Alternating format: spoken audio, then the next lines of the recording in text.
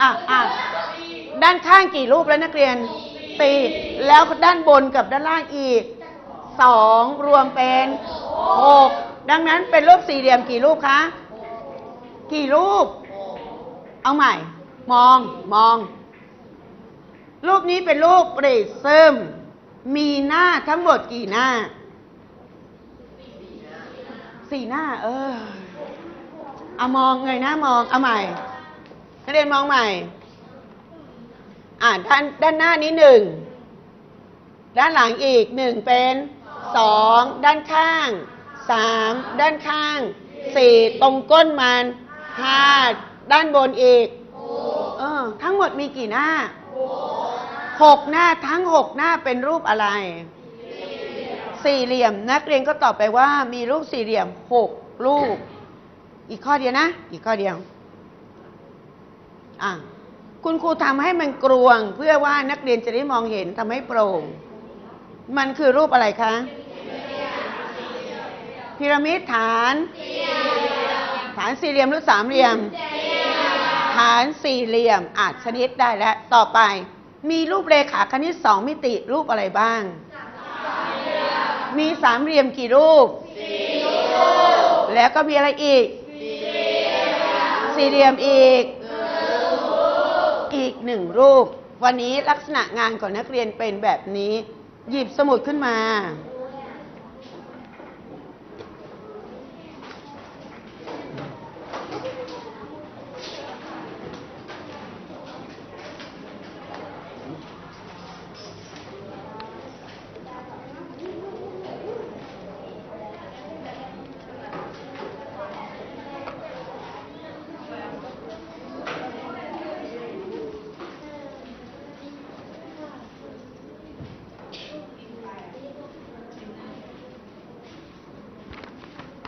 อ่าเขียนวันที่ค่ะ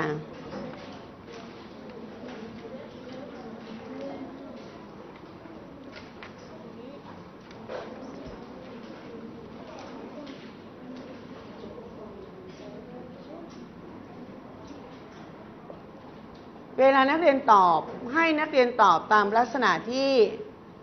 แบบนี้นะคะหนึ่งตอบเป็นรูปเรขาคณิตสามมิติก่อน แล้วถึงจะบอกเป็นรูปเรขาคณิตสองมิติ เอาละค่ะ ดินสอมีไหมคะ มี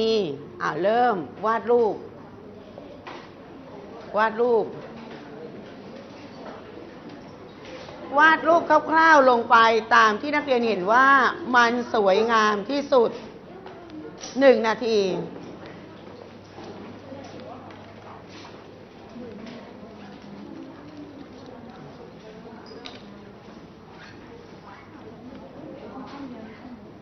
เอาวาดเร็วค่ะ เร็วค่ะ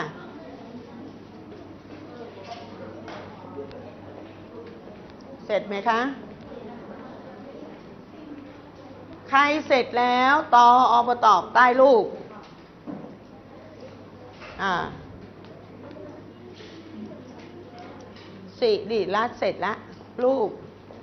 ชัยสิทธิ์ยังไม่มีเลย อ่า อ่า เสร็จแล้วตอมาตอบใต้รูปค่ะ เป็นรูปเรขาคณิตสามมิติใด รูปอะไรคะกรวยอ่ากรวยอ่าเขียนเลยตอมาตอบกรวย พอเป็นรูปเรขาคณิตสามมิติแล้วต่อไปมองเป็นรูปเรขาคณิตสองมิติ มีรูปอะไรบ้าง สามเหลี่ยมกับอ่าวงกลมกี่รูปหนึ่งรูปสามเหลี่ยมกี่รูปหนึ่งรูปตอบค่ะ ตอบไปเลย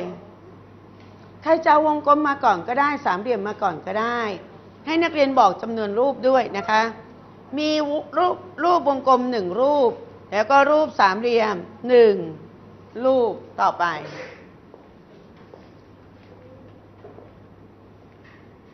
เสร็จหนึ่งข้อขีดเส้นขั้น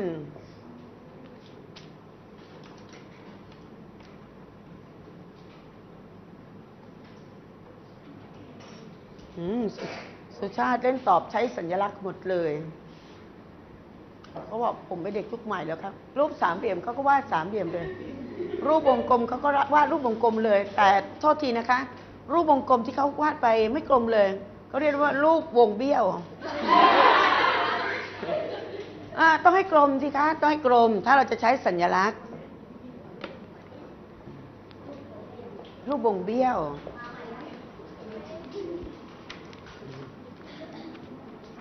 อะเสร็จยัง เสร็จแล้วข้อต่อไป ฝึกการวาดรูปด้วยนะคะอะอะรีบวาด เวลานักเรียนวาดนักเรียนก็ต้องเริ่มจากสามเหลี่ยมมาก่อน สามเหลี่ยมด้านบนก่อน แล้วนักเรียนถึงจะลากความหนาลงมา ความหนาก็มีอยู่สามเส้นที่นักเรียนมองเห็นลากลงลงลงลงมาเลย แล้วก็ลากเชื่อมง่ายจะตาย สร้างสามเหลี่ยมก่อนอ่าแล้วก็สร้างความหนาลงมาสามเส้น แล้วก็ลากเชื่อม นี่คุณชัยสิทธิ์ ไม้บรรทัดก็อยู่ข้างกาย เวลาเขาวาดรูป เขาไม่ใช้เลยค่ะ เขาใช้มือลากมือเที่ยงมากเลย วาดใหม่นะคะ เนี่ยเส้นตรงเนี่ยตรงไหมเขาไม่เรียกว่าเส้นตรงเขาเรียกว่าเส้นเบี้ยวเส้นเบี้ยว ไม้บรรทัดก็อยู่กับตัวนักเรียน แต่สู้อุตสาห์ประคองมือลากเอา อะ นี้มาต่อ รูปนี้เขาเรียกว่ารูปอะไรคะนักเรียน เรียกอะไรคะ เอาชื่อก่อนชนิดก่อน เรียกว่ารูปอะไรคะปรีซึม สามเหลี่ยมอะถูกต้อง ปรีซึมสามเหลี่ยมต่อไป ทีนี้นักเรียนก็มามองดูรายละเอียด มีรูปเลขาคณิตสองมิตินั้นมีรูปอะไรบ้าง มีรูปอะไรบ้างคะนักเรียน สามเหลี่ยมกับสี่เหลี่ยมไอ้สองเหลี่ยมไม่มีนะลูกสองเหลี่ยมไม่มี อะไรนะคะ สามเหลี่ยมมีกี่รูปเออหลายคนบอกเห็นมีอยู่รูปเดียวอยู่ตรงไหนอะนักเรียนเออเก่งมากอยู่ด้านล่าง อยู่ด้านบนกับอยู่ด้าน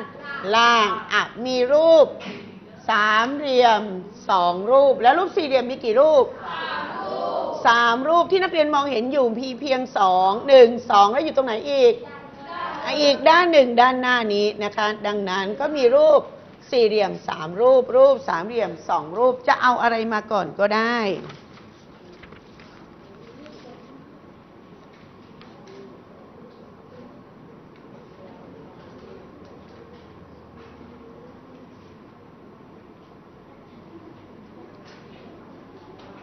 เสร็จยังเมษาเสร็จยัง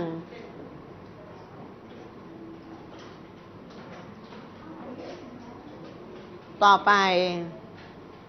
อะอีกข้อเดียวข้อสุดท้ายแล้วที่เหลือก็เป็นการบ้านนะคะอะวาดลงไป อันนี้วาดง่ายเลย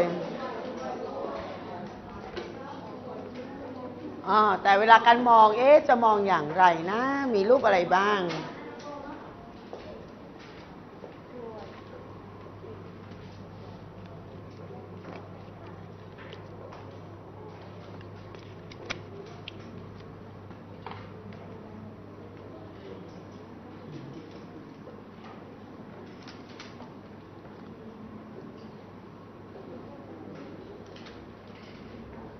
รูปนี้เขาเรียกว่ารูปอะไรนักเรียน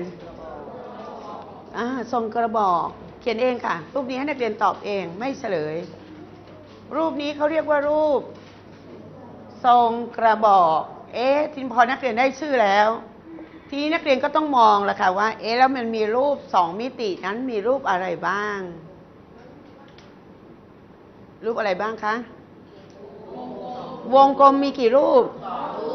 สองรูปมีอะไรอีก อ่าเก่งมากเลยสี่เหลี่ยม เพราะว่าถ้านักเรียนตัดไอ้ส่วนที่อยู่รอบๆวงกลมตัดออกปั๊บแล้วแผ่ออกไปมันก็คือรูปสี่เหลี่ยม สี่เหลี่ยมมีกี่รูปหนึ่งรูปเก่งมากนะคะ ตอบเองนะคะ ใครเสร็จแล้วหยิบหนังสือขึ้นมาข้อนี้ตอบเอง